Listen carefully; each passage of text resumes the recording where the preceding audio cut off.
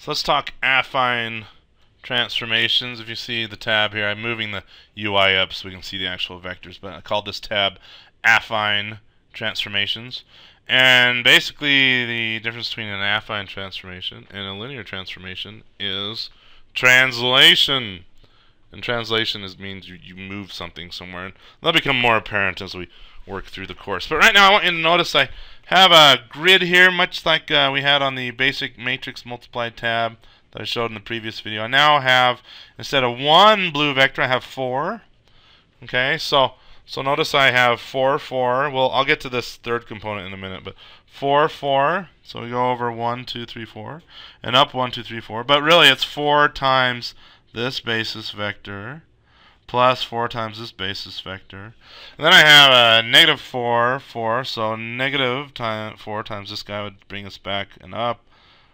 Alright, so that's, that's, that's this vector here. And then I have 4, negative 4, which is 4, negative 4. This one, okay, and then the last one, negative 4, 4. So you can see we kind of have a square. If you almost can imagine the blue vectors disappearing there, and the end of the vectors become points or dots, and we connected them, we would have a square. Alright? So then, the basic matrix multiply tab on the previous video here, I took this matrix, this these two basis vectors, and I just slammed them in here, right? This this upper left hand corner. Let me grab my pencil here. It's the upper left hand corner matrix. Alright? So so we still have our basis vectors, 1, 0, and 0, 1. Then we have these two slots out here. This 0, 0, and then this 0, 0, and this 1 here. For, for this video, we're actually going to ignore all of this. And actually, we're going to... I, just have to slide a little thing here going out that we're, we're really doing some 3D stuff in 2D, but there's a spoiler there for some future videos and some future products. But but basically, it's it's really 3D. We're gonna see it though and picture it and view it on our screen in 2D. All right, so 1, 0, 0, 1. All right, there's our 1, 0 basis vector, 0, 1 basis vector, and then all of these vectors are linear combinations of those two. It's, it's 4, 4, negative 4, 4, negative 4, negative 4, and 4, negative 4. Okay, so same deal as before. Watch what happens. Let me, um, I'll keep the red circle there. Watch what happens as I uh, mess around with the basis vectors again. All right, so I'm just going to I'm going to grab, let's grab this x here. Watch what happens to every vector's x as I stretch that x out. Do you see? Look, you're, looking down here, right? I hope. Okay, you see as I grab that out? You can see that uh, basically I'm taking this matrix timesing it by this vector and I get this result. Here's the result. All right. So this guy here is 7.2. So 1, 2, 3, 4, 5, 6, 7.2 and up 4. Okay, and then the next one is negative 7.2. So all the x's, I just exaggerated the x's by 1.8 here. Alright, so I'm going to slide this around a little more. You see the vectors, as I bring that basis vector closer and closer to 0, they get pretty close there. But as I stretch it out and make it bigger, they get further out and further out. Alright, and now watch watch this number and this number and number. Watch all these x results as I grab the slider and slide it around. You see how the numbers get bigger? The x values get bigger if you would. Right, the first component values if you would. That'd probably be a better way of doing it because it's not always x. I can change the y. Alright. Anyway, kind of cool. Alright, watch what happens. Let's do the y. Alright, you see the y? Same thing, but in the y direction. And all I'm doing is changing this basis vector there. Alright. Up, down, up. Wait up, down, touch the ground. What show is that from? Do you remember? I hope you do.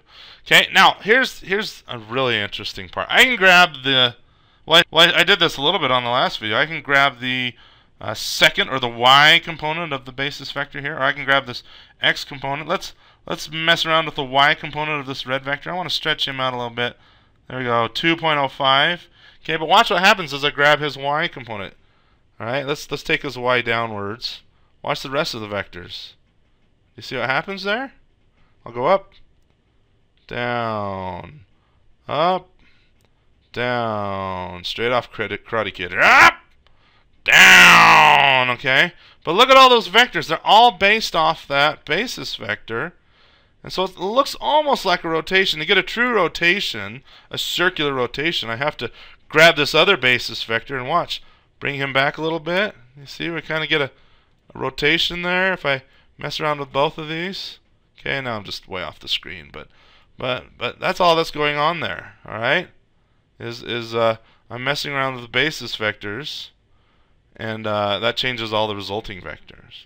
All right, so what if I want to do a translation though? If you notice, like if I change these, they, I'm kind of remember we started with an original box. In fact, let me let me reset this. I have to actually start the program. I don't have an editor reset button. So let me restart the program. Okay, you remember we started out with this box and and uh, sorry I jumped the screen there, but these two basis vectors. Okay, we started out with this box, but there's no way for me to to grab these um, these these basis vectors and move this box over to the right or to the left. I can stretch it. See one point. Let's go 1.5 there. Oops. Let's go back. Oh, give me zero. Give me. Oh, I'm off. Let's go 1.5 here. You see the box got a little bigger. All right. Um, but but I still the box is still centered around the origin here. All right. What if I want to take this this box and I want to move all these vertices as a group? I want to move all of them, that's kind of bad, to the right. Okay? Well, I can't, there's no way to do that around uh, with these four sliders because these four sliders are linear transformations, meaning we maintain the origin. Okay? But but now that I'm I'm using a 3 by 3 matrix and interpreting it as 2 by 2 vectors and kind of wasting these other cells out here. Let me show you. Let me let me restart the program again. Don't don't blame I now have my perfect box again, but I want to move the box to the right. Well, the way we do that is using these two sliders. Okay, let me grab this one. Watch the box as I grab this one.